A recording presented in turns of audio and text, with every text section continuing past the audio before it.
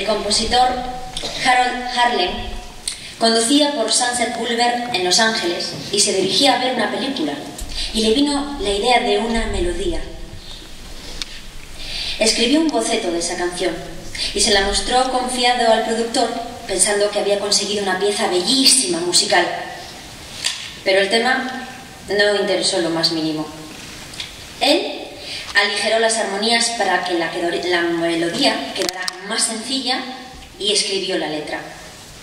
Al final, Over the Rainbow es, junto con Singing in the Rain, una de las canciones más emblemáticas de la historia del cine, de la cual se han grabado cientos de versiones que van desde acústicas y vocales hasta de jazz, rock e incluso heavy metal.